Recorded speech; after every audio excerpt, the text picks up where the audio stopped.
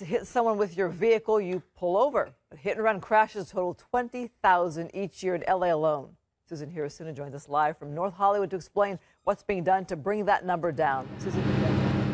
Christine, Chief Charlie Beck recently declared this the year of traffic. Violent crime is down, so time now to focus on what some are calling an epidemic of hit and run crashes.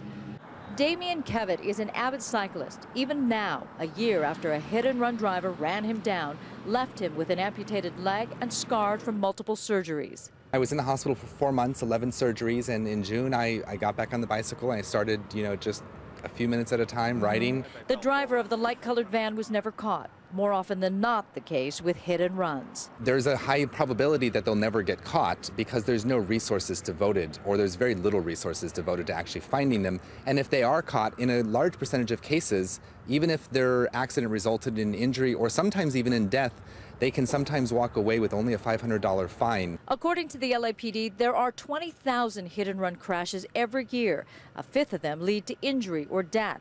Already this year, there have been five fatal hit and runs, more than twice the number for the same period last year. And fatal hit and runs are hardly unique to LA. This one in Montclair took the lives of two people.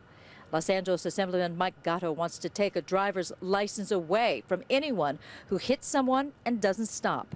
It shouldn't be like that. We should force drivers to stop, to do the right thing, and to make sure that that person's okay. We're not going to populate the jails with that. We're not going to do spend a lot of money with that. We're just going to take those people off the road and say, hey, you've got a timeout, and you're not going to be driving if you can't exercise moral responsibility.